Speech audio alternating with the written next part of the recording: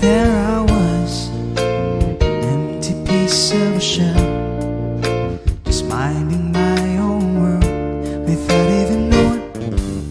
what life was all about. Then you came, you brought me out of the shell, you gave my world to me, and before I